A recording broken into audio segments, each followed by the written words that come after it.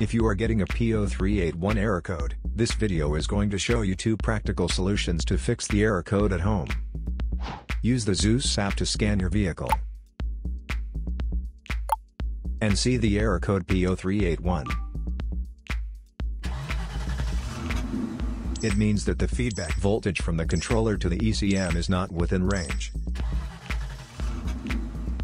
There are two simple DIY solutions you can try to solve this problem. Method A, the glow plugs.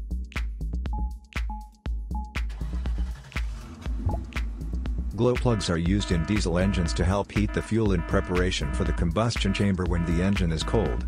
They are located on top of the cylinders. Carefully remove the glow plugs from the engine. Use a multimeter to proceed a test on the glow plugs. Read the result off the multimeter display. Note that a resistance of less than 6 ohms usually means the glow plug is good. Repeat the procedure for the remaining glow plugs, until they have all been tested. If any of the glow plugs fail the test, it is recommended that the entire set be replaced.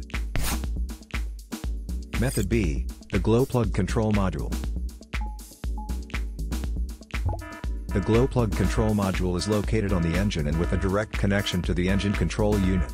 First, carefully remove the glow plug control module from the vehicle.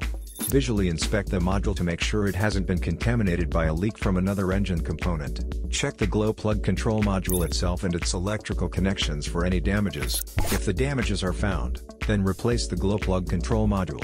Replacing your glow plugs or glow plug control module is a straightforward project that is recommended every 60,000 miles or 95,000 kilometers. So here are two of the most practical solutions to fix the P0381 error code. After the repair, you can now use the ZUS app to clear the error code. And tap the rescan button one more time to make sure everything is fine with your vehicle.